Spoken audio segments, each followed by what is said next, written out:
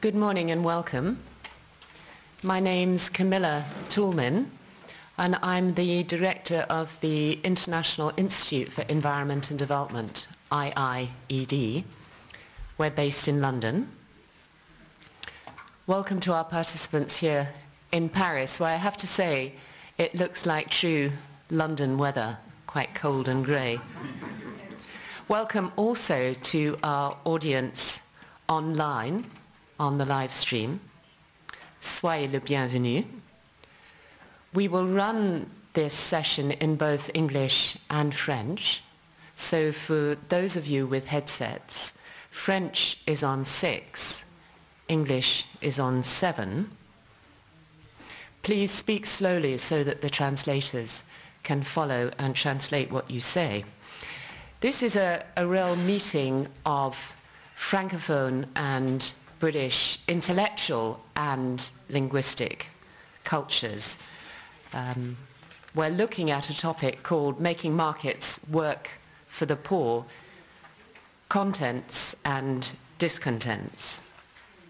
And this is the third event in a series of provo- provocations or disputations following a meeting held in The Hague in September of last year and one in Stockholm in March earlier this month. It's a series of meetings as part of a collaborative program of work between IIED, HIVOS, and a whole range of local partners. And the purpose of this work is to try and take a closer look at this idea of making markets work for the poor. What are some of the benefits? What are some of the assumptions? What are some of the risks in market-based approaches to reducing poverty, particularly amongst small-scale farmers?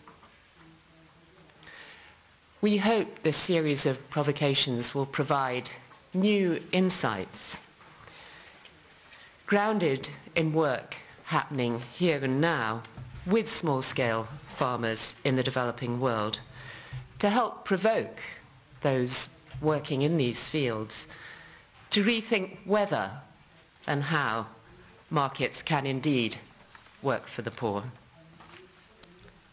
Let me just say a couple of words about myself. I'm an economist turned anthropologist who's worked mainly in Sahelian West Africa. Markets have been hugely important throughout West Africa for hundreds actually thousands of years. I've followed for the last 30 years the life of a small village in central Mali, and I was back there earlier this month. People have become hugely engaged in markets, particularly over the last few years for sesame. Sesame is making a lot of people there really quite rich. So they're very engaged, but they're also mindful of the risks involved in that. Risks because many households are tempted to put so much of their time and energy into sesame that they're not thinking about how their longer-term food security around millet might be assured. Risks because young, young men are sloping off from the field, the family field, early in the evening to go and farm their own sesame plot for their own private purpose, and arriving in the family field the following morning exhausted and not fit for work. So it's a good example, I think, that brings to life some of the real benefits of engagement in market with some of the risks, particularly for household solidarity um, and food security. We have one change to the list of speakers. Um, sadly, Ujjwal Pokharel, our colleague from Nepal, is not well and has been unable to join us. But I'm delighted that a colleague from Burkina Faso, Bala Sanou, has been ably willing to step into his place. Bala's from the Royal Tropical Institute in the Netherlands, and we're really pleased, Bala, that you could take on that role. I'd now like to turn to Catherine van der Wies from HIVOS to say a few words. My name is um, Catherine. My name is Catherine Vennewies. I work for HIVOS, which is an international uh, NGO based in the Netherlands.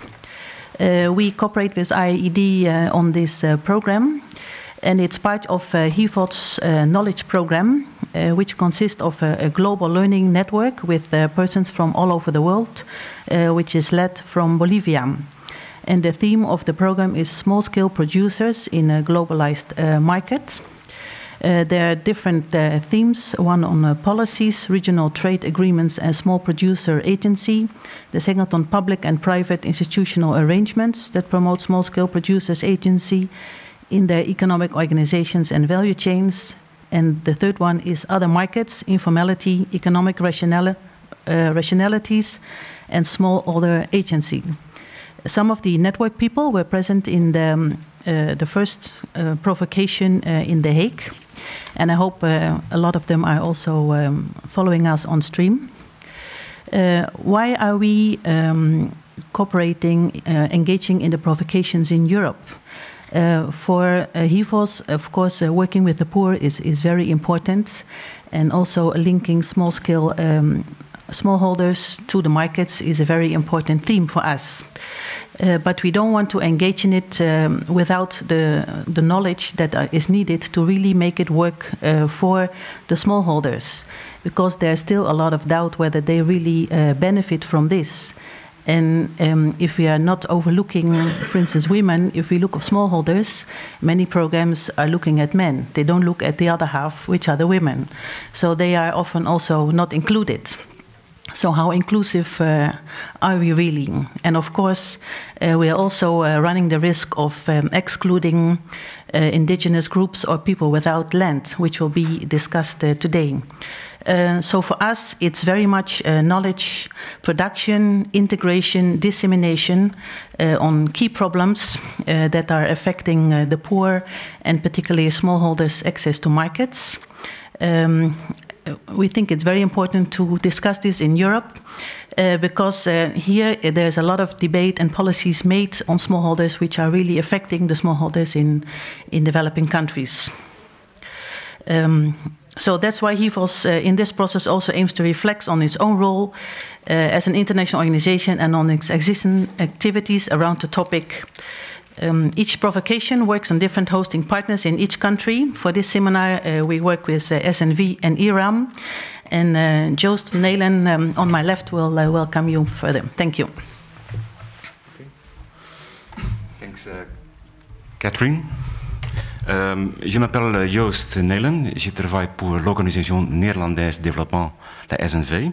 Je suis basé à Burkina Faso. Reste, je parlerai en, en anglais.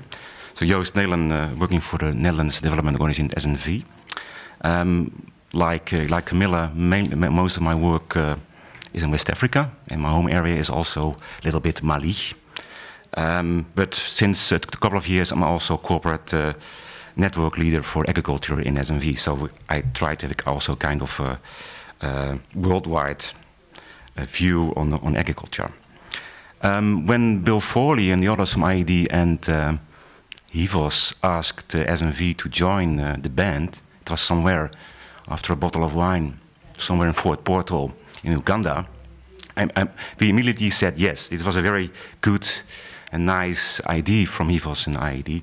So it, it's an honor for SNV to, to join this uh, series of uh, provocative uh, uh, seminars.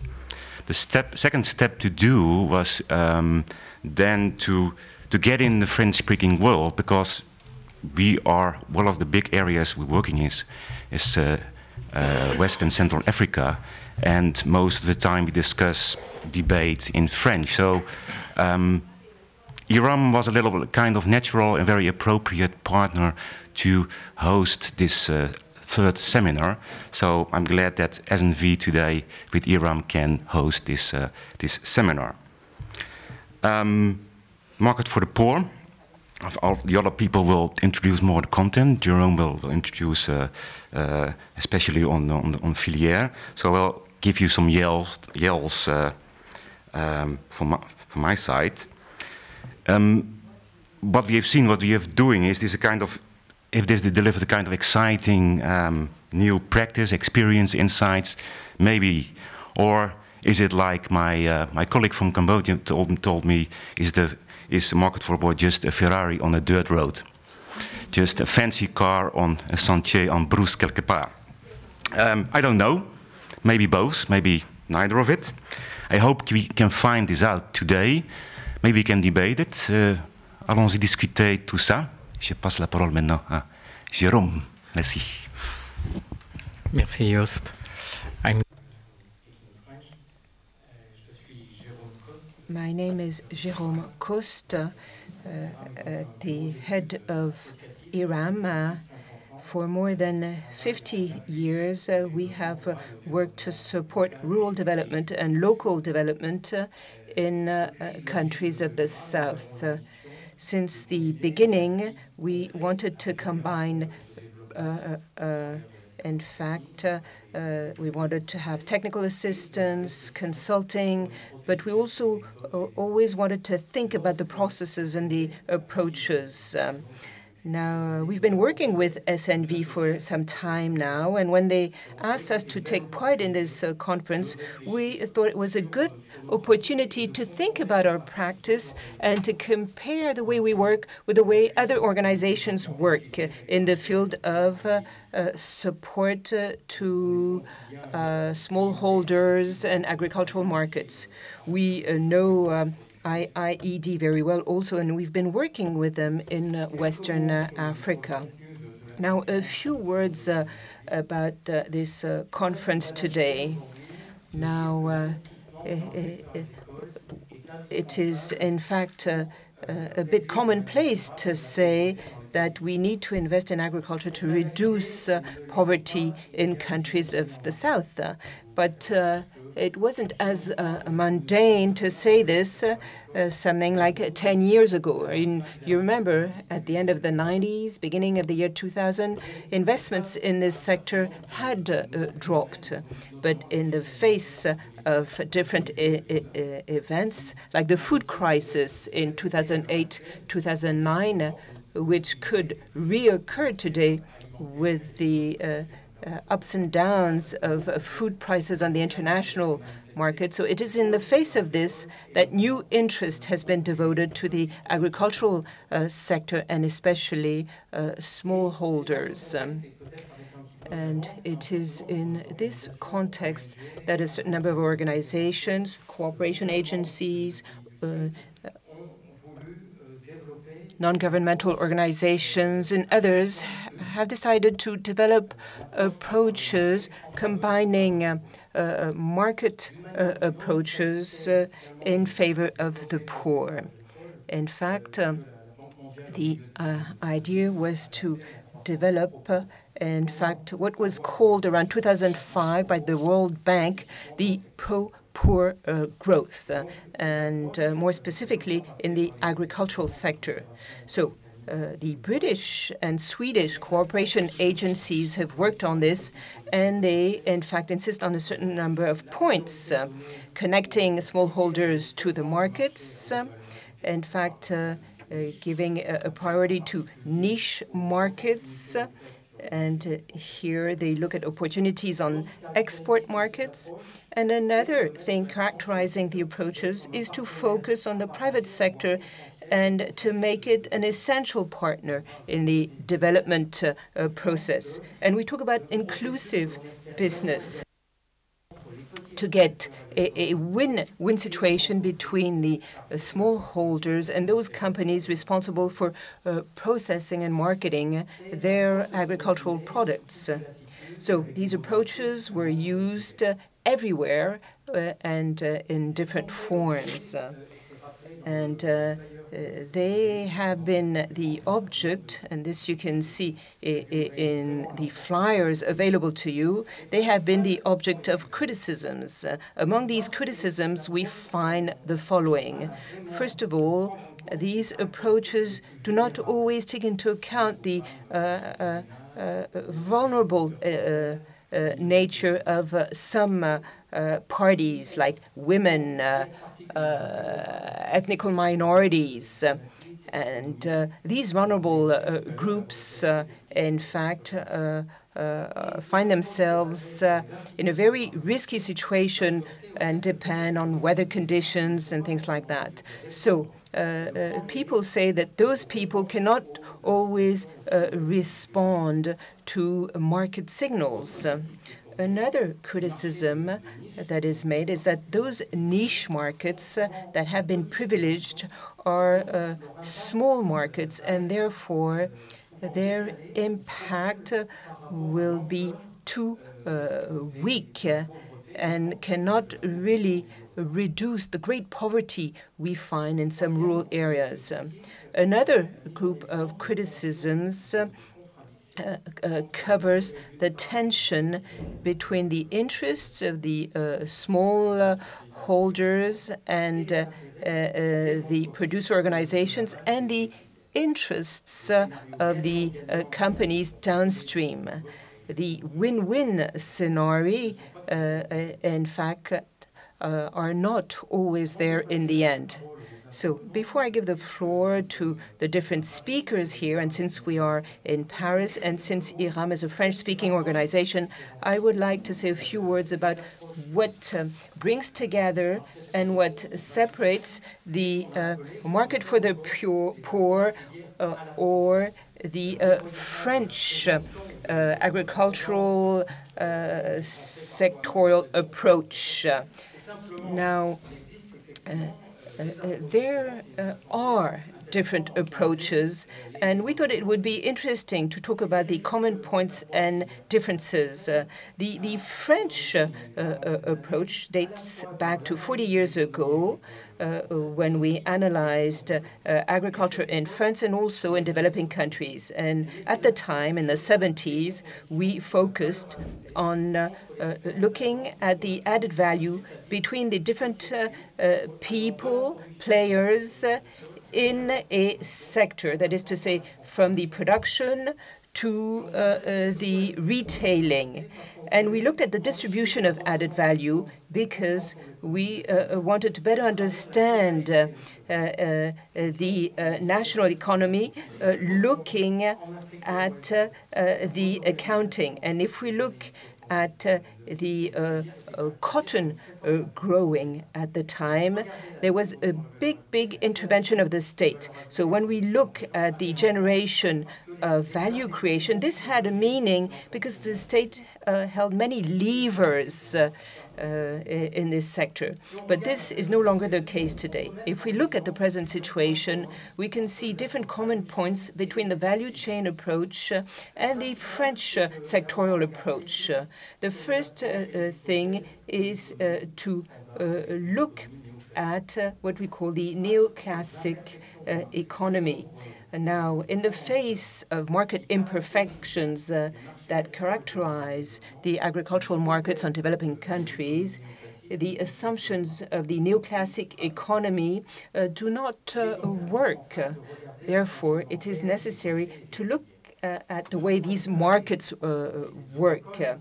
And the two uh, schools, in fact, refer today to uh, what we call the new institutional economy that is defended by Williamson, which is based on looking at the transaction costs that are uh, generated by the difference in information and by the market risks uh, that confront the different players. Let me recall that this school of thought pays a lot of attention to the way uh, players in a sector, in a chain, coordinate their actions to organize the whole process uh, between uh, production, processing, retailing. And in both cases, there's a desire to look at reality and not just to describe the symptoms, but also to find the causes. Now, a few words about the differences. Uh, we will note that the uh, uh, French type of sectoral approach will devote more time to looking at the problems of uh, suppliers, uh, will uh, also pay more attention to quality, which is considered as crucial for coordination between the different players, and will also pay a lot of attention to market regulation.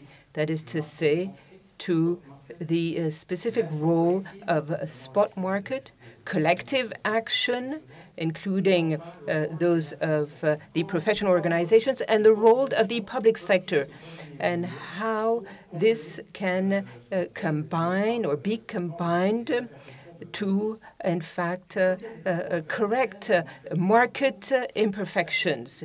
In the value chain approach, Uh, uh, people will more focus on demand and satisfying customer needs. and uh, the concerning the inclusive business, well, there will be a, a selection uh, uh, that will be uh, done based on competition. So on the one side, you have demand competition. On the other side, you have uh, the uh, supply and market regulation. And now I have three questions uh, to put to you today. Uh, uh, we would like to know how the approaches market for the poor take into account uh, these theoretical references and what do they mean to uh, establish the, the programs called Markets for the Poor. And uh, what is their idea of market? Of course, we could discuss about the poors, but we should discuss the markets. Uh, what makes the market? Who is the market?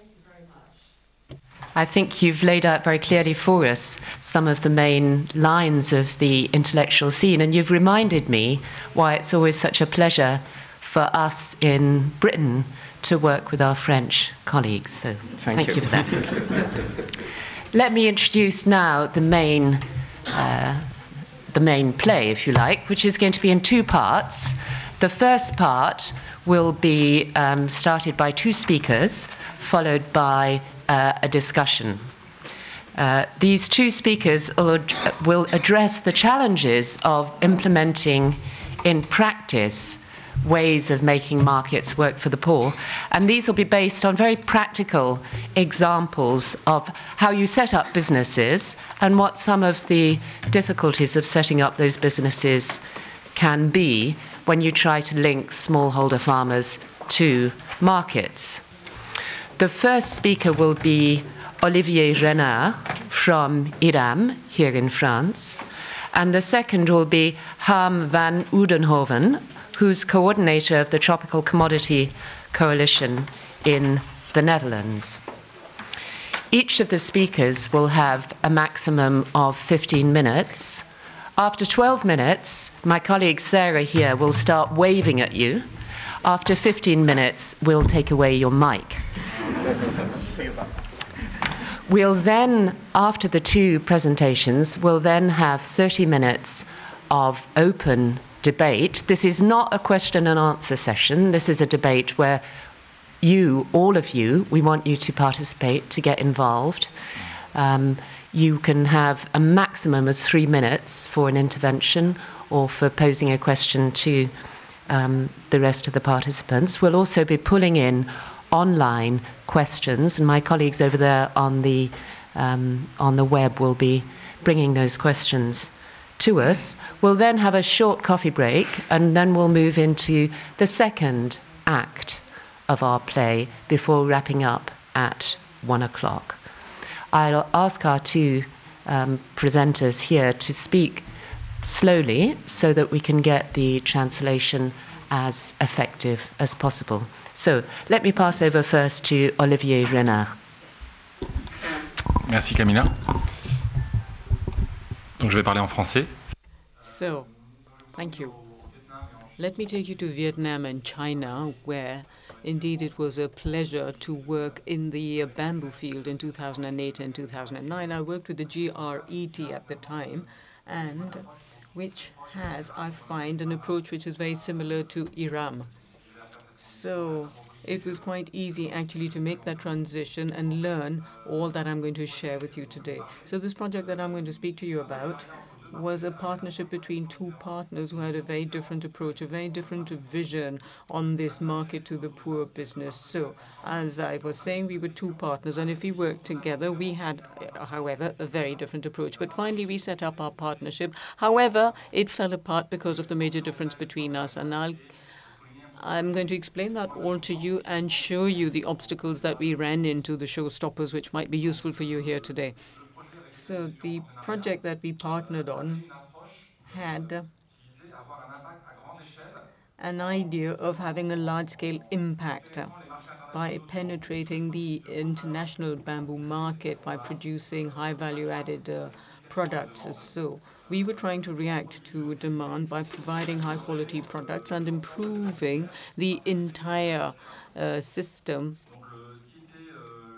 So the uh, basic assumption was that we use the Chinese model as a base, which is very efficient and very high performance in the uh, bamboo sector. So the idea was to take away some of its um, market share and have a platform in Vietnam. So now what was this Chinese um, sector all about? Now in the 80s, there were several processing areas for bamboo in the Anji area, which is to the west of Shanghai. And these are small bamboo producing areas.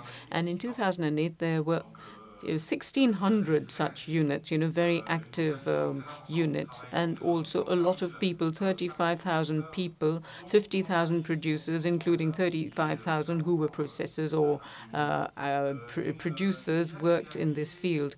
What's more, it was very strongly supported by the Chinese government way back when through all sorts of various reforms which gave it a lot of advantages. So you had bamboo societies that were set up and these were uh, associations that took into account all the problems that people involved in the bamboo trade uh, were going through, having them work together, and they set up specific contracts with the private and public um, uh, sectors, which had a different meaning at different points in time. Anyway, they had the backing of the government, plus uh, they had large-scale trials running over several thousands of hectares to improve their uh, bamboo production.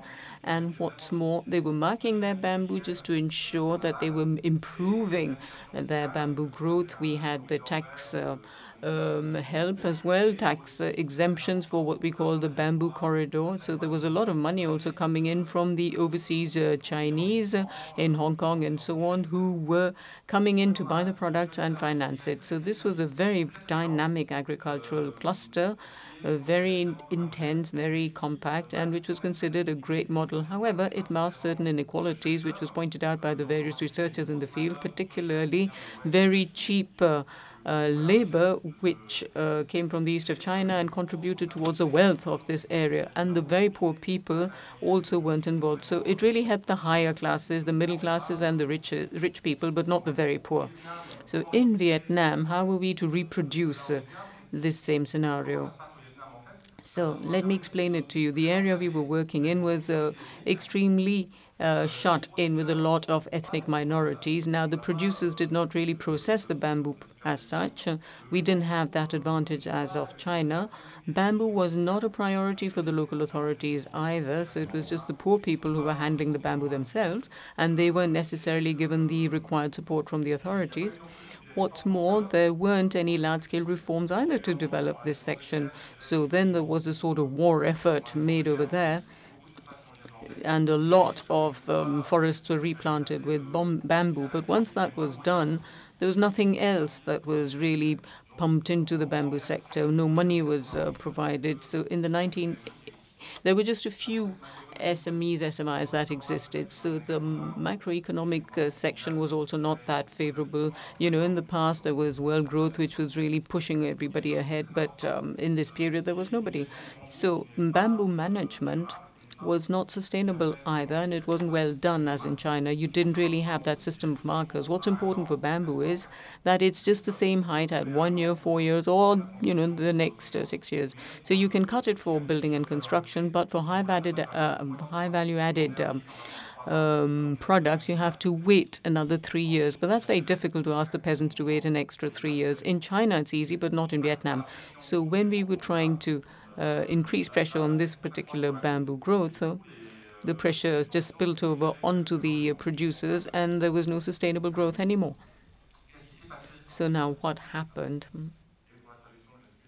Right, so maybe I was going a little fast, so I'm slowing down now.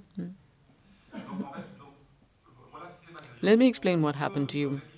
When we wished to reproduce the Chinese model in Vietnam, which had a completely different context and backdrop, There was, as I explained, a partnership. The GRET, the G-R-E-T, uh, was then and is still uh, helping the local small businesses with their uh, growth and also find new uh, sustainable systems of growth for bamboo, find new partners for them. And on the other hand, they were trying to draw in huge investment, working therefore with uh, big companies around Hanoi or other international companies who would come in and set up uh, processing lines, processing units to make uh, flooring, buildings, etc., based on bamboo, and therefore convert it into a high value added product. Uh, we realized, however, that it wasn't working as we wanted it to, because on the one hand, industrialists were very hesitant about coming to this area where the resources as such were not secure and um, what's more, there were, wasn't very good quality bamboo. So bamboo that came into factories was just a year old and not two years old. It wouldn't be a problem for flooring or for um, furniture. However, they were very hesitant. They didn't wish to invest in this poor quality raw material in the plantations, in the units, and so on. So very few investors uh, came. So they worked with the local Vietnamese uh, um, uh, producers and investors and the working methods were not similar to that of a sustainable economy. That was the first major point. And secondly, it was more theoretical. We wish to increase demand, you know, in order to have some impact on prices and also ensure that the peasants selling bamboo would also take advantage of it. But in real life, it wasn't really like that. Bamboo prices were determined by China, which was just to the north of them. So if the pr prices were low, then Vietnam couldn't sell its bamboo at a higher price since the Chinese market determined price. What's more, the distribution of margins right from upscale to uh, upstream to downstream of the production was not in the hands of uh, the producers. And what's more, even on Vietnam markets, there was just not enough demand to have any change in prices. So if 80% goes into the building and construction industry, and if you go from 10 to 15 percent of high added value products, it really has no impact on uh, the price paid out to the peasants. So, so that was a major problem. Apart from that, there was also the organization. The producers' organization is very necessary to have good quality supply. And if you don't have that, then you invest a lot to make it happen. Now, who does it? Uh, you have to make sure that uh, both organizations have to be compatible with each other, the investors and the producers. Investors were rare, as we had explained to you, especially those who wish to invest over a long period of time. Plus, we discovered that uh, the Vietnamese country uh, companies had a very different point of view on resources. They didn't really have that sustainable approach. Which is what we wanted for Market for the Poor in that framework, and that gave rise to all sorts of problems. What, however, when we looked at what was happening at a local level with all the support provided for the small businesses, we realized that there were certain concrete results. The small industries that were working together and who were networked were more shock resistant. So if we found opportunities to diversify production on the local markets, it helped them enormously and it helped their economic model. What's more, they were able to uh, ride the crest of uh, the crisis much better. What what else we did was um, improve uh, good management of the plantations within all the little uh, cooperatives and groups. So, so, we managed to improve the plantations and therefore get them better prices. Uh, through the small industries who were looking for better quality. So if we helped them, we realized at that small level, which was small, but it was very significant because it spread over a wide scale, we could change things. However, it was very difficult. It's still underway. It's a long, long uh, way to go, but now we are developing methods which might just work. And finally, from the political point of view, we realized as uh, we went along that um, they were trying to um, increase local investment, help the local enterprises, and help the most, uh, the poorest of the population through teaching and making uh, bamboo growing areas easier to use. So that was a lot of investment made by the government. However, this um, could have a major impact on the investment only if they took interest in it. So there was this long dialogue with the local government to encourage them, to coerce them into making these uh, investments, because otherwise they would be missing an opportunity. We found in our various um, experiences in this area that that the poor or the producers, because very often producers in this area are very poor, that if they aren't at the very heart of uh, the market, then there are major risks. That is, the investment burden falls on the investors. The investors come, they set up something, and then in the long run, you ask the producer to adapt to the new changes, the new uh, model, so without providing any kind of safety network. So there's a major risk attached to this market for the poor approach, you know, which was meant to be a big explosion, make a big bang, you know, and ensure that we wipe out uh, poverty. But finally, it wasn't justified in its um, way of working.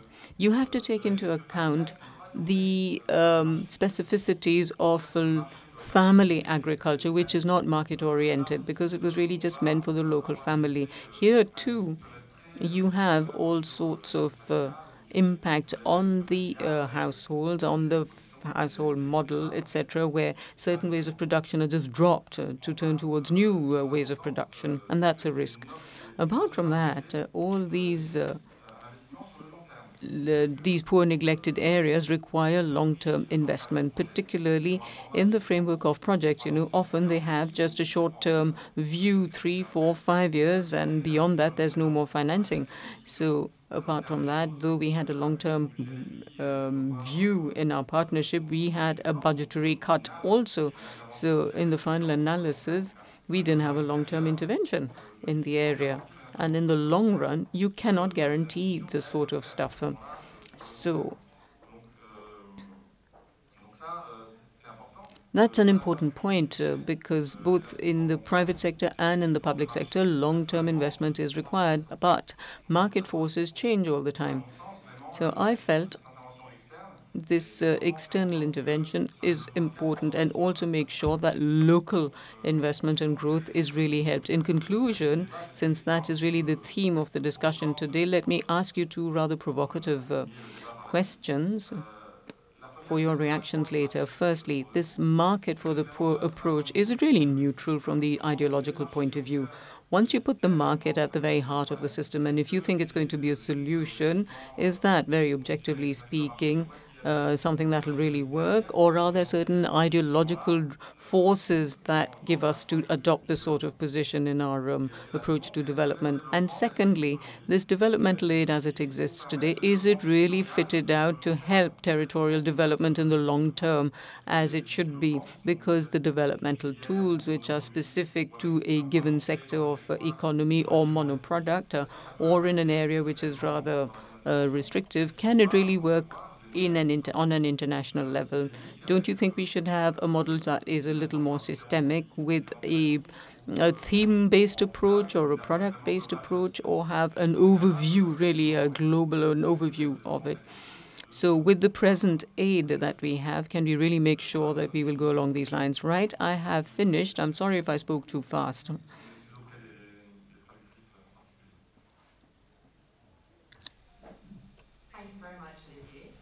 Quick, but you've kept exactly to time. So that's uh, an example that uh, we can hope that maybe our other disputants will also will also follow. Thank you also for concluding with a couple of questions for us to think about. And I, I don't want to throw open to the floor yet because um, I want us to turn to our other speaker in order to hear from, from him about the case study from Nicaragua. Okay. So, Harm, over to you. Okay, this will be in English. Um, okay, uh, my name is Harm van Oudenhoven. I ran my own chocolate business in Nicaragua. So, um, okay, I'm just going to. I wrote a nice speech here. okay, establishing and running a business in many developing countries is a very complicated and frustrating task. One is confronted with antiquated bureaucracies, unfriendly tax systems, complicated and contradictory laws. The terrible infrastructure, roads and roads in bad condition and dangerous traffic make transport and logistics costly and difficult. You know, power shortages and outages can run, ruin a day's production or in the long run ruin your business. A low standard of general education makes it difficult to find good staff, and this is also reflected in the low standards of services. In an effort to stimulate economic growth, many NGOs have started to become actors in stimulating various enterprises. Often they examine the production chain of a single commodity and intervene in where the analysis shows restraints and complications. A relatively recent strategy amongst NGOs is, is, to connect large and often international businesses to producer organizations such as farmer cooperatives. The reasoning is that large companies can have a better and larger impact due to their size and the related large demand of a single commodity. And there are, of course, many examples where small scale farmer organizations profit from such an initiative, and the large companies do likewise. However, in both the analysis and in the intervention strategies along value chain, large sections of the total network of economic actors related or potentially related are left out of the picture and do not benefit from the interventions. It can even be the case that the interventions can have a negative effect on the overall economy. It is therefore, therefore of considerable importance in seeking to find answers for economic development or for making markets work for the poor, for NGOs to look beyond specific value chains and to look at the broader economic system. The restraints that are causing economic lag for the whole economy should be considered and acted upon to create a level playing field for all actors. Okay, I, um, I wish to read to you a narrative on my personal experience of running a, my own business in Nicaragua. I do so because I feel it's the best way to explain my thoughts regarding initiatives of NGOs. Okay, gracias. I'm trying to keep up with him here. okay. I undertook uh, my latest endeavor uh, because I wished to prove that I could set up a successful business without too much planning and without a theoretical backdrop and uh, with very limited finance. Uh, the business had to be original and bring something new to the local economy, while at the same time using as many local resources, resources as possible. I hope that by starting my own business in a developing country, I would get a full and realistic insight into the problems faced by local businesses and in future use this knowledge in a professional way. Of course, I hope to have an impact, creating jobs in a sustainable manner. Okay? So when my wife uh, actually got a job uh, for SNV in Nicaragua, I saw my chance to start a new business. And while driving around the countryside, I found uh, cacao trees with cacao rotting on the floor, on the ground. So I actually that gave me the input to you know, make a new business. I, and I thought, well, maybe I could do something with chocolate. So I started to experiment to see if I could make chocolate at home. I spent a few weeks mixing cacao and sugar and milk powders and made some of the worst chocolate in the world. yeah, seriously. And I kept trying, I kept trying. And when I, I, was uh, eventually satisfied with the number of products, I went to the local pizzeria and offered them the chocolate. The owner called me the next day and asked for more. So I invested my last 3,000 euros I had in the bank. I made a small kitchen and I bought some machinery, some trays, and a stove and established a small production unit. So basically at the level of many local producers, you know, very little money, very little input. And I hired my first kitchen staff and taught her the basics, and I sold the products in town and some specialty shops in the capital. And the production slowly grew, and my sales slowly grew. And two friends, we were all development workers, invested 6,000 euros, and we, and we increased the size of the kitchen. We wrote a business plan, and we won 20,000 euros for the best business plan for development, um, and used this to, to, again improve the kitchen and buy our company car. Um, I spent weeks, days, placing our products in the local market, local supermarkets, gasoline stations, and any restaurants that would take our product. We participated in trade fairs throughout the country and promoted our chocolate at city festivals. And through the years, our brand became known to more and more people. And slowly we grew in size, and slowly we established our market. Slowly, we also became aware of the immense constraints that are put, up, that are put on local businesses of our size and capacity. And the constraints are immense. Starting, registration of the facility as a legal ent entity took months. Working with local lawyers, we soon discovered that many mistakes, we soon discovered many mistakes in the texts. Our names were spelled wrong. The goal of the company was incorrectly described. Erroneous legal terms were used. We actually wrote out our legal documents ourselves with the lawyers only signing and pasting the official tax stamp. Yeah. It took many more weeks setting things straight at the tax office. The Chamber of Commerce had approved the original document. However, a contradictory law at the tax office forced us to rewrite our business constitution. And this contradiction still bothers us today. We have to show the two consecutive documents for any legal transaction or bank or government agency. Strikes at the Ministry of Health, going on for 11 months, prevented, prevented us from getting health certificates. Together, efforts to obtain individual approvals and certificates needed for national sales of chocolate took, in the end, more than 18 months. We wish to produce, when we wish to produce for an international recognized, uh, for an international market, our, we had our chocolate tested at the, at, um, for nutritional information by the Ministry of Health. The results were full of errors and contradictions. In the third year of business, the national power cuts started six hours a day, eight hours a day. And when we finally sent our staff home, zero hours a day. Hmm. This lasted for two years. Telephone lines were stolen on a regular basis. The roads were, of course, horrendous. The times we stood by the roadside with a flat tire are not countable. The repair bills for our old Nissan Patrol are simply unimaginable. And the list goes on. Information at the staff of the Ministry of Agriculture were very limited. When we wished to export to USA or to Europe, it was up to ourselves to find the information needed in various websites or simply by trial and error. We found that the Department of Export Certification and national customs offices lacked an organized, organized information system. And this can make doing business very difficult.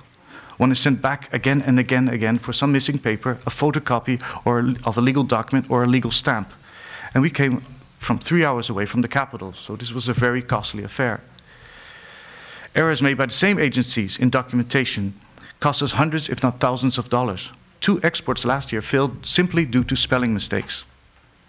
We also lost our customers and lots of money, of course. There was, however, one consol uh, consolation. It didn't only happen to us.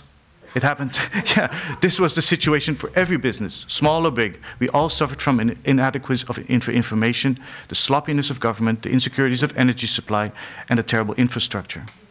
But all things said, we had become a business in Nicaragua. Okay, listening uh, to the above, you, it might come to your, your, attention that I do not mention any theoretical framework or production chain analysis. This is because we ne actually never used one. Almost everything we planned turned out more difficult, more complicated than any model could predict.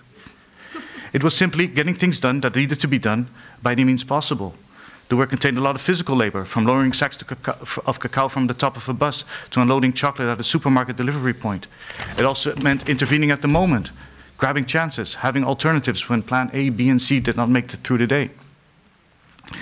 So throughout the years of management and consumed by all the practicalities of keeping the business afloat, I often had discussions with NGO business advisors on a friendly or professional basis.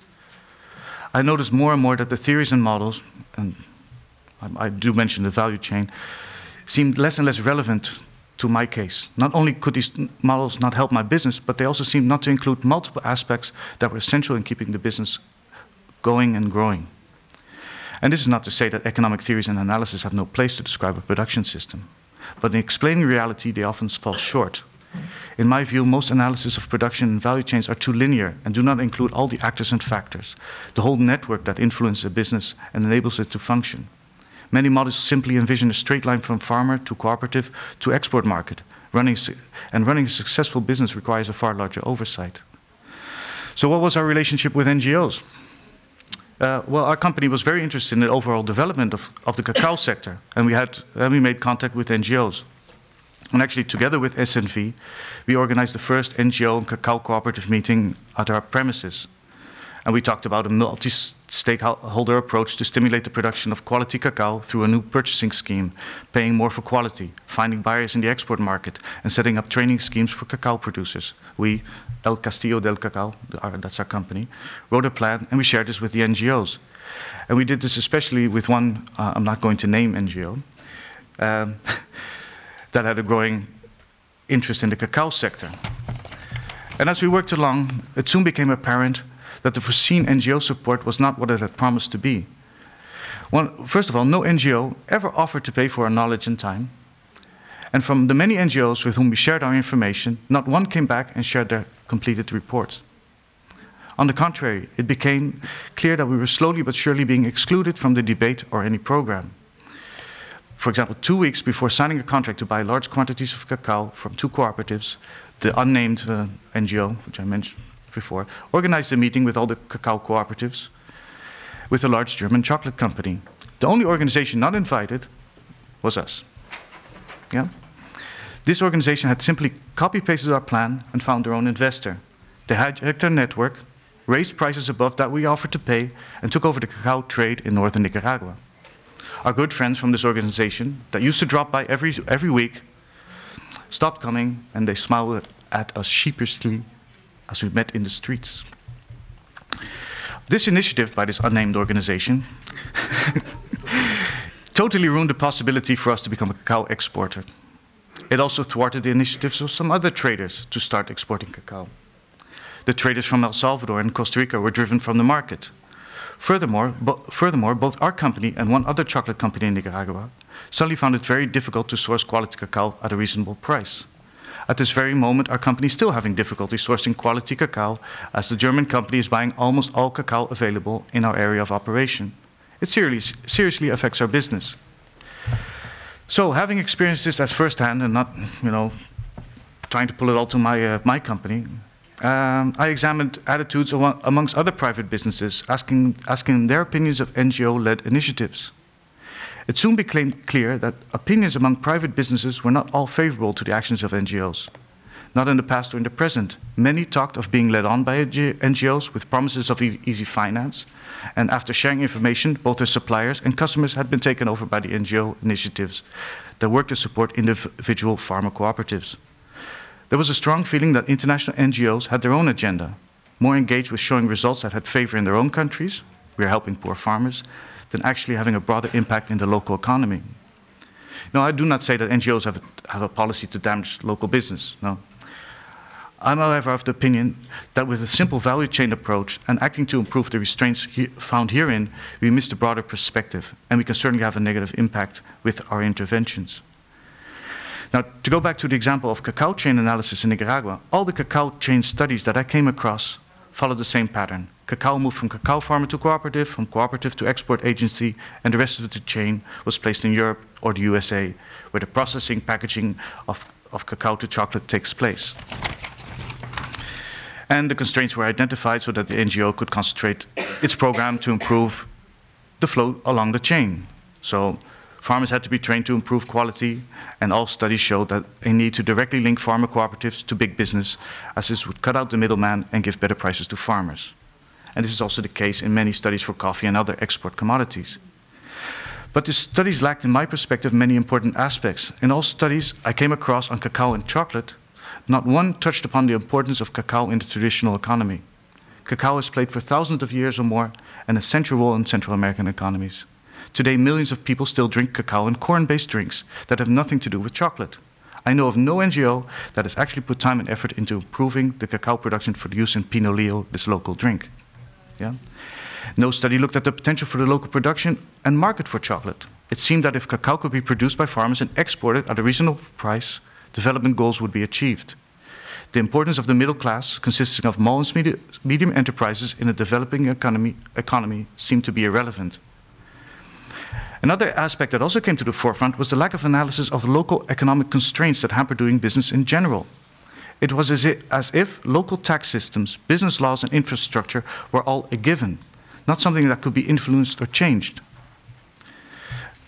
Okay, it's going to take two, two minutes. As the analysis was often linear and value chain specific, the solutions proposed were also aimed directly at improving the chain and few, if any, on improving the general business environment beneficial to all enterprises. So I find that even if we may improve the flow along a certain chain, there can be a negative effects to other actors in the total network of the economy or to those businesses that fall outside the, uh, the analyzed supported chain. Okay, therefore, one of the most worrying aspects I find today is that NGOs are linking um, with international businesses in the line with export-directed value chain improvement.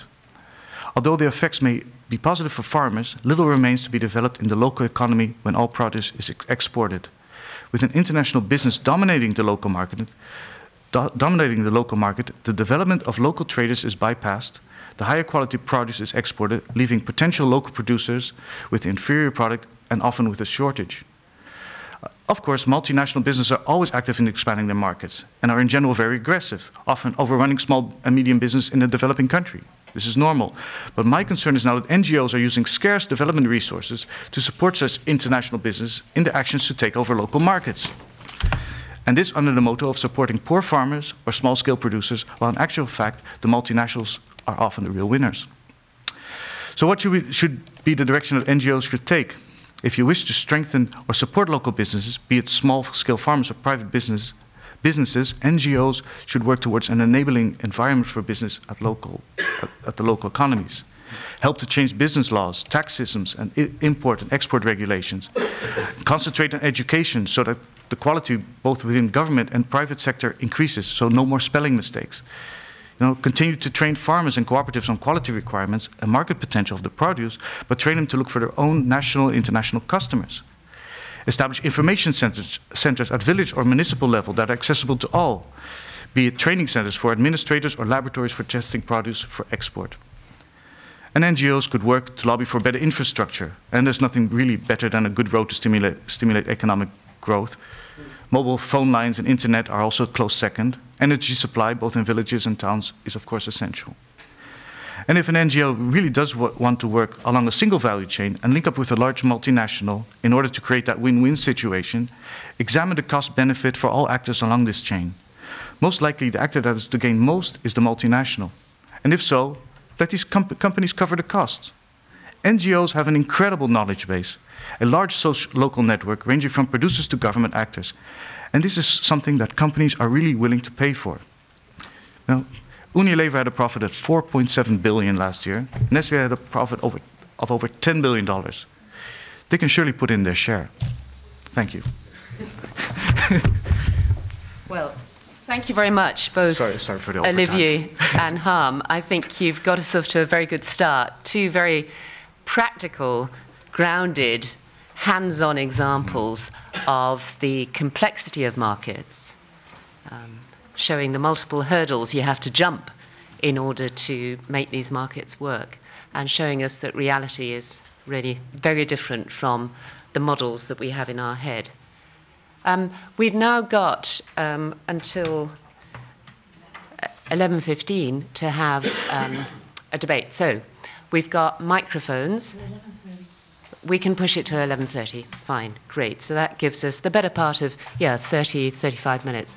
We've got microphones. We want you to use microphones, please, so that um, we can get the translation and also, of course, the, um, the uh, sound into the web system.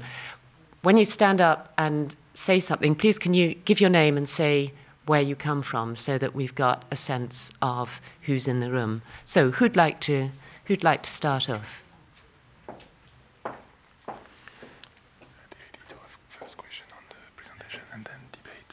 If there are people who'd like to pose questions, um, particularly for any clarification on the presentations that we've heard. Julienne Brabet, Université. Julienne Brabet, University Paris-Est. Now, uh, I have heard uh, uh, the same comment made by both of you concerning uh, the making markets work. That is to say, if we don't start with uh, local development and if we don't have a systemic approach for the local level, and if we immediately uh, go for an export driven uh, economy, we miss the target, which is to alleviate uh, poverty. Did I understand you correctly? Yes. Uh, uh, at least this is what we have seen in our experience. And uh, it's a question of approach, but also uh, time. The time frame is not the same. And this can also lead to problems. That is to say, if we put a lot of efforts on one initiative and it does not work, it will have uh, a, a, a, a a very negative effect that will be ah, we tried it, it didn't work. Well, the problem came from something else, uh, the way we actually did the thing. And this focus on international markets really takes the emphasis away from building local economy, local revenues, mm. local livelihoods? Well, you know, on one side, of course, it helps. It, it, there's income coming into the country, but I always say, like, let's say if we develop one one chain, let's say a banana exportation, uh, we kind of forget that these farmers might also want to produce something else in the future. So we, we can establish one chain, and then suddenly they want to do anything else, and then they're stuck again in their lo- with their local constraints. That's why I keep focusing on we should try to improve the whole business environment in these countries so that people can develop themselves. Um, because you can see it in the coffee uh, sector in Nicaragua, it's been helped quite a bit by NGOs, and that moves fine. But other sectors are, are still struggling with the same problems that they were facing 20 years ago. So this is something, uh, yeah. Can I ask for any other? Yes, please. Let me find you a...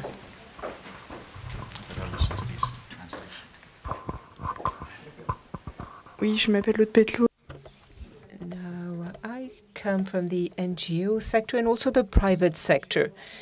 Uh, So I have this twofold approach. uh, And uh, I was uh, thinking about the way the NGO behaved vis-à-vis your company. That is to say, uh, drawing, in fact, from from your experience. Uh, uh, until a moment it decided, okay, it might be more interesting to work with another player.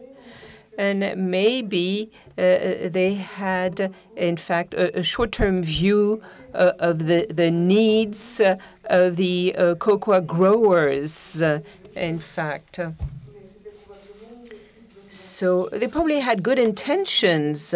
They wanted to uh, maximize the profits for the local growers. uh, and then they decided, oh, how can we do that? It's probably not with that guy and his uh, chocolate uh, uh, production system. Maybe it is safer to go and see this very large German company because they will uh, buy the cocoa and maybe at a higher price um, and on a sustainable basis. So my question is the following. How uh, can uh, we also make sure the smallholders have a long-term view so that we can have this overall long-term sustainable approach, which would also include the idea of growing other things. So how can uh, we mobilize the local energy in this more sustainable and integrated approach? Because I also worked in the field and I didn't uh, uh, find this uh, uh, uh, great interest of the small producers for long-term sustainable uh, development.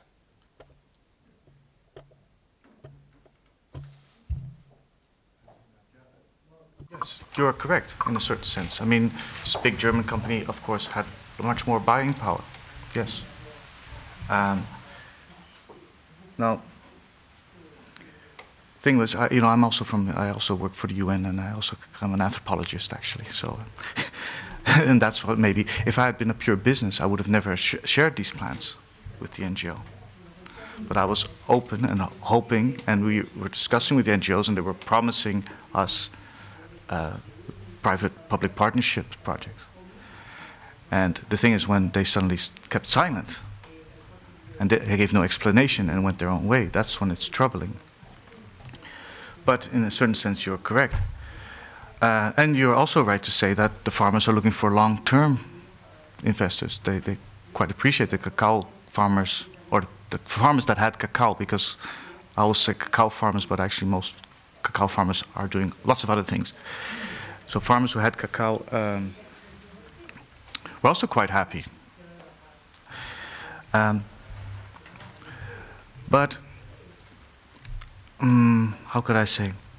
What I see now, so we've, we've got this link, and it's a long-term link, and that's actually excluding lots of other potential companies to develop in the local economy.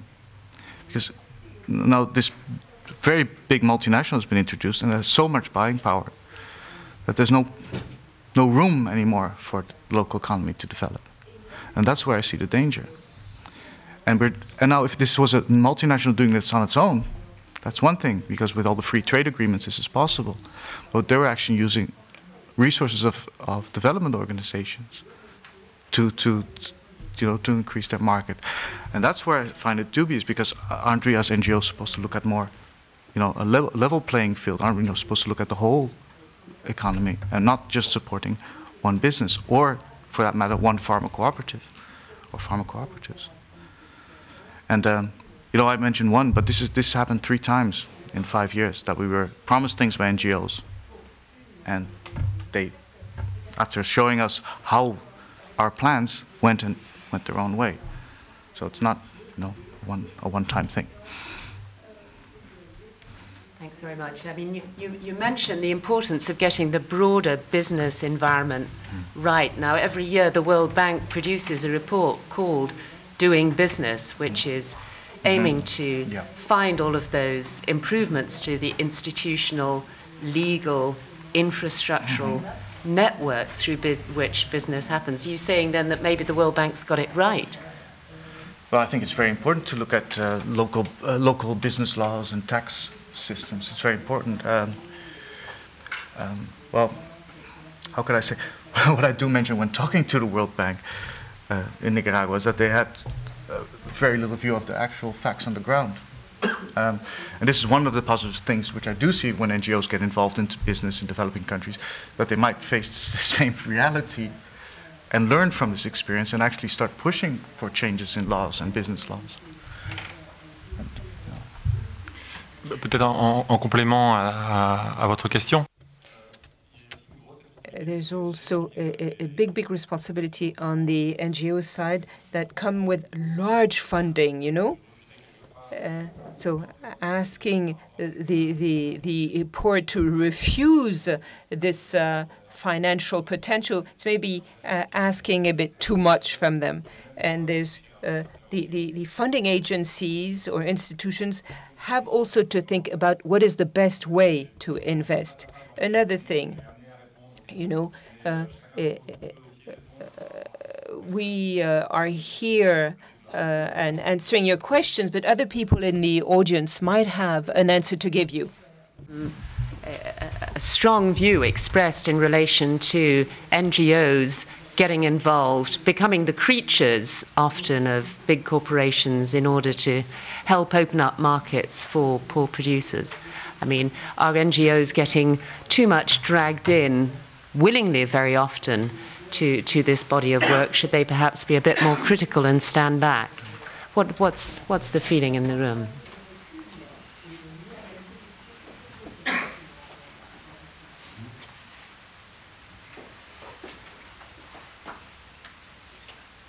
Yes, here we've got my colleague.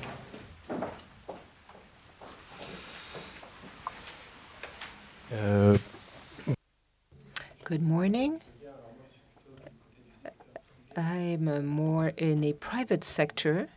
I work for an industrial company, and uh, I have a question. As a private company, we have the following dilemma. You know, if uh, we uh, do not uh, cover, answer the, the, the problems of our businesses, uh, the development won't be a sustainable development because in case of a crisis, uh, it is maybe the, the, first things we will drop. So we say, okay, to do development as a private company, we will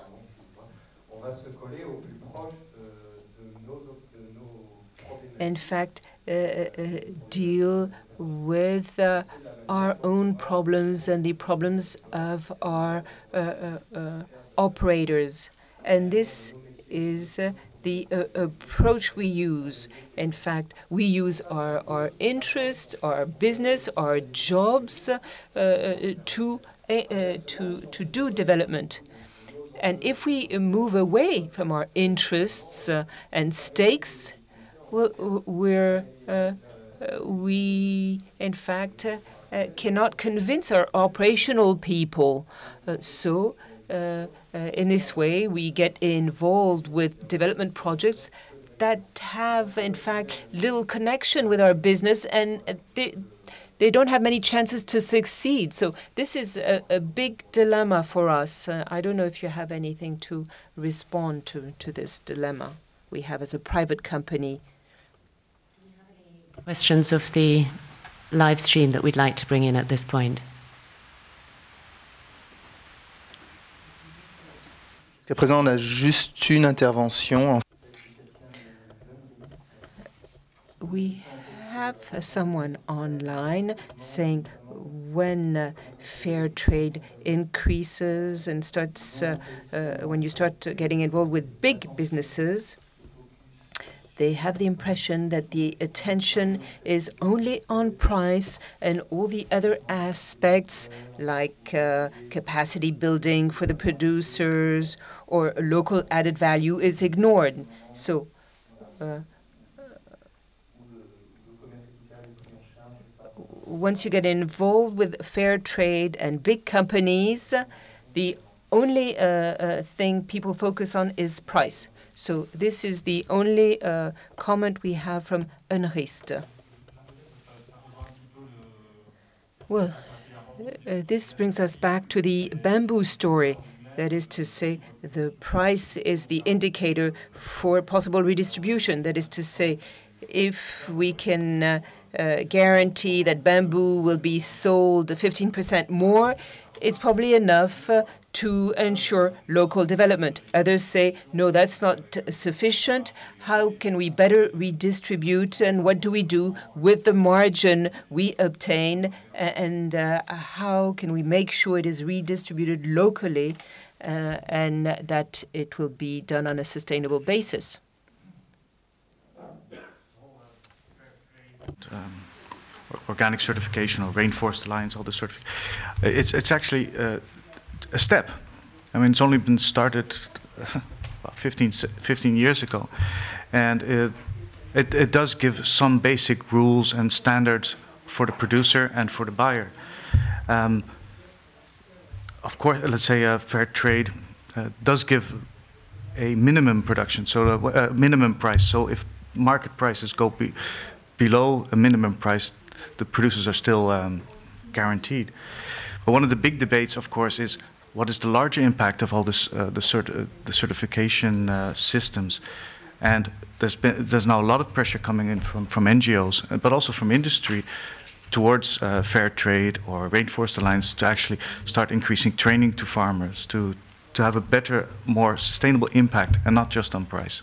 So this is something that, that people in the sector are aware of and, and people are working for. Just, I don't know if that answers the question.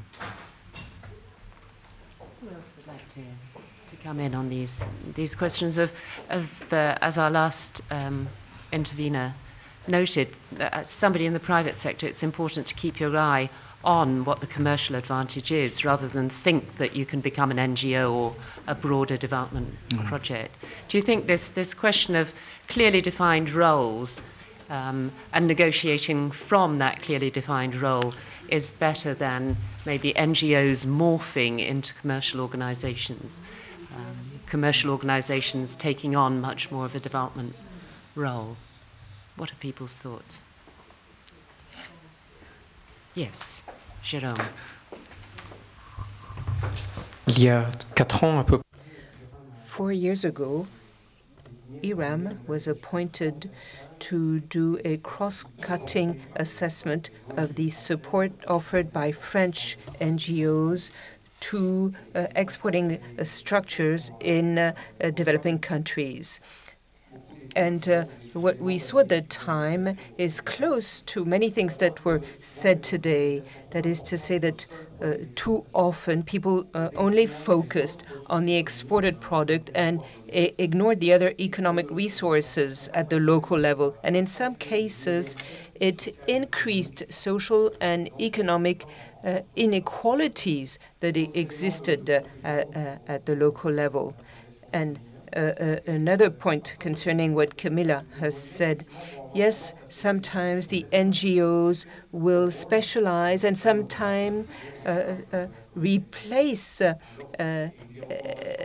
a marketing organization. And one of the conclusions of that work was you know, a recommendation to NGOs was take some distance, look at the players, and keeping in mind your objectives, that is to say, reducing inequalities, strengthening the local people, focus on those bigger objectives, and do not, uh, you know, uh, uh, make a mistake when it comes to what is your actual and your real mission.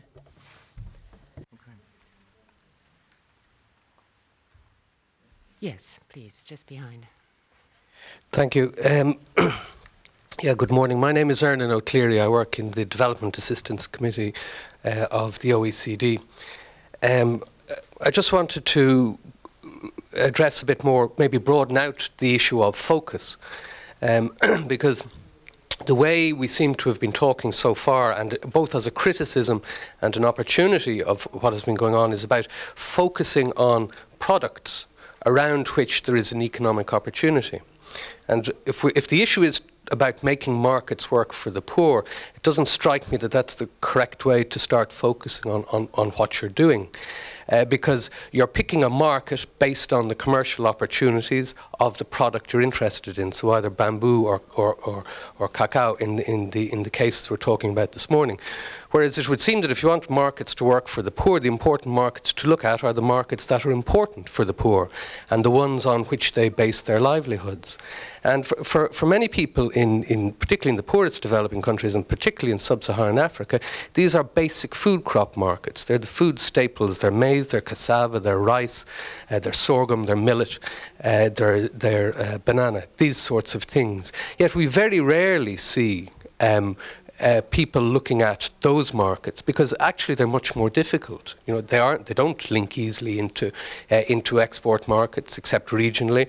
Uh, they don't have big commercial opportunities in them, and they work very inefficiently. The inefficiencies that Harm was talking about in terms of the market of cacao, of cacao they're worse actually in, in, in, in, in, in many basic food staples. It's a much more difficult and intractable problem. And in a sense, it seems to me that there's a lot of uh, a, a desire, an understandable but inevitable desire to focus on things on, on things which can be seen to work and projects and interventions that can be seen to be successful. And are we really focusing on the markets that are important for the poor and trying to make them work? Thank you. That's a very helpful comment, I think, on which we may get further reflection. Yes, please work? It helps me to try to uh, express my own question, which is completely naive and without any theory behind. I'm an anthropologist, but that helped me to learn to be as open as possible for reality. So, uh, following your question, maybe it's only a question, and it's a free association more than a, than a very focalized question. There is a difference, I think, between small entrepreneurs who are going to work in a yeah what can I say not agricultural. And you have the of course the peasants and you have the people who work in small companies more with technology let us say.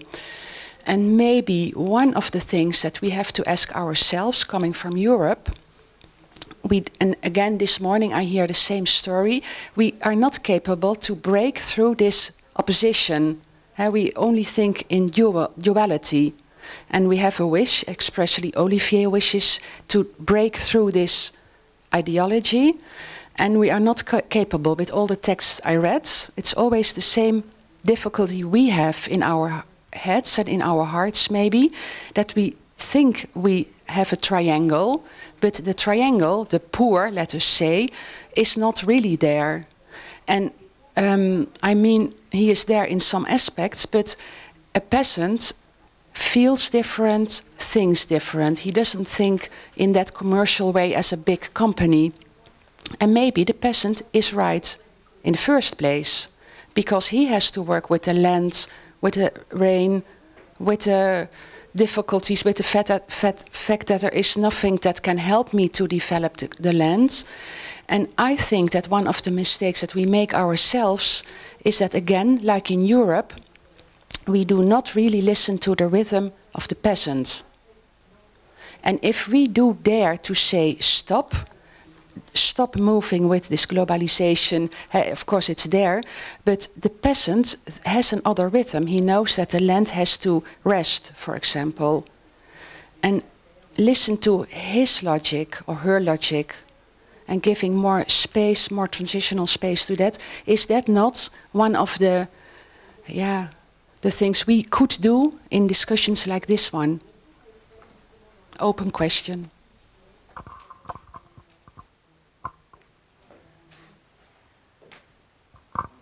Can I add something? Um, yeah, Sarah from SNV. I just want to jump in. Maybe that's why I immediately took the, the microphone. I also wanted, I also asked myself this question, and then I asked myself the question: Who is the market? Who is determining the market? Is it the consumer? Is it us NGOs? Is it the peasant? I think we all know the answer. But if you say we we need to follow more the rhythm of the peasant, what does it mean actually? What does it mean for the consumer? What does it mean for the multinationals? What does it mean for NGOs? Indeed, I think we bring, I think we bring to this agenda our own particular rhythms, our own particular needs, yeah. um, which mean that uh, we don't necessarily uh, provide the space and time for other key actors in, in the process. Harm, yeah, give us I, your thoughts. Yeah. Uh, when I um, started this business, my, my main goal was uh, local production and also to give uh, local knowledge to people to see if they could do more with the products they already had. And in Nicaragua, of course, cacao is a major product. And um, so all, all our sales are basically local. Yeah, all, all and um, because I see our, our whole production system and, and sales are all within Nicaragua and Honduras. So we got everybody, the whole network benefits from that. Not only farmers, but distributors, supermarkets, shops, uh, our electrician, you know, so many people more are, are benefiting. What we also did was, uh, one of my reasoning is if you give people knowledge about their local products, um, they also can increase quality. Um, so we gave a lot of trainings to farmers on how to make chocolate in the farm. And so they could actually give, to give knowledge on how people can actually do more with what they have. So maybe this is one of some of my, my ideologies. And, uh, and, if I look back at Europe, I mean, uh, French cheese was developed here. We did, French did not start exporting cheese until they had totally developed their own market. And same with uh, Heineken was a Dutch company selling to Dutch people locally before they went abroad. And this is very important. This is what gives us all the jobs and the, the multiple, all the companies involved directly with getting this product, product from farmer to market. They're all here. And this is, this is something I, I sometimes miss in, in, in developing countries because we're all so concentrated on export. But low, we've, in Europe, we've all developed our products here and marketed our products here. So. Would people like to pick up that point on the importance of developing local markets for local produce rather than this focus on the global? Uh, Lila. I'm Lila Buckley from IIED. Um, not actually directly related to that last comment. Um, since NGOs have, since NGOs have um, taken a bit of a hit in this discussion, I thought I would add a voice from an NGO. Um, I worked with a Chinese NGO in China for several years, and we were involved in exactly what we're discussing today, um, engaging smallholder producers, trying to think about how to develop market chains in China to um, support development on the ground in very rural areas of Western China. And much of our analysis coming out of that experience was very positive. We talked about how we developed, you know, farmer cooperatives and profiled farmers who were able to send their, their children to college because of the income that they made. Um, but if you peel that back one layer, we found also that there was incredible inequalities that came out of those successes. Not everyone benefited equally, and not everyone um, was able to send their children to college. Some people were excluded from the project. And so I think it's really important to see the perspective on the ground that NGOs can cause real harm.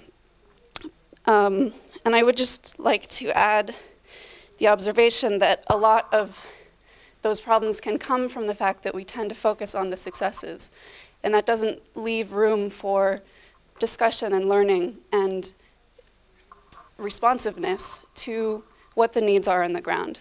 And I think the other layer of NGO work is advocacy and research and um, bringing those lessons into the international community. And it's really important in the work that we do to influence international development processes to create room for that kind of reflection and responsiveness.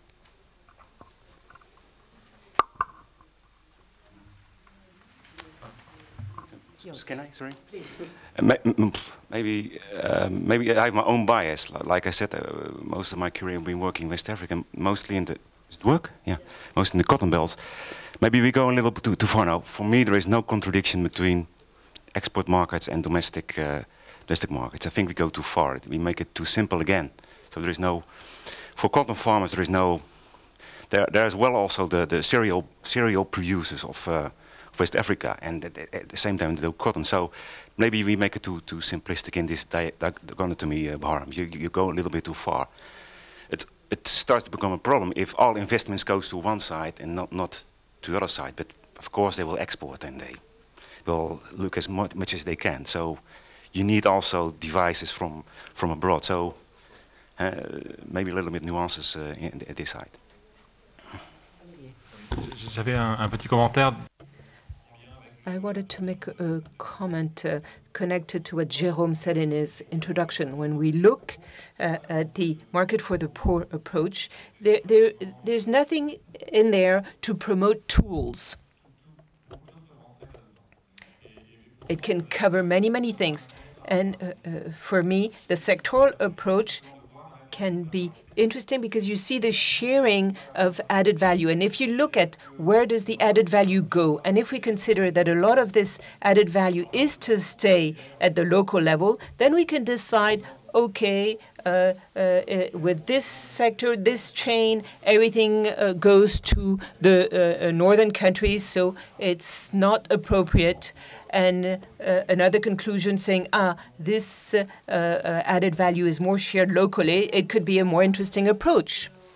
For this first half, I'd like to thank very much our, our two presenters and say I think we've um, seen this uh, interesting kind of dichotomy between the importance of focusing on a particular product and what that can bring versus a much broader improvement in the general business environment with quite a lot of emphasis on the importance of the latter. Um, we've seen a discussion around um, the importance of developing markets for export and the potential that that can bring in terms of higher prices and revenues for smallholders versus the need to tackle the often much harder problems of local markets. Um, I think we also have to remember that we should kind of watch what farmers do as well as um, think that we've got all the answers and that we need to test out our theory by getting involved in the practical engagement of seeing how these different markets work um, in reality. I think um, we're going to hear in the next half how this engagement in markets also then feeds back into a whole set of issues around family, household, and the management of those fundamental resources on which agriculture is based soils, land, and water. But we're going to take a break now for 15 minutes and have some coffee. So let's have some, oh, 10 minutes. Okay, 10 minutes. So quick coffee, and then we'll see you back here in 10 minutes. Thanks very much. Thank you.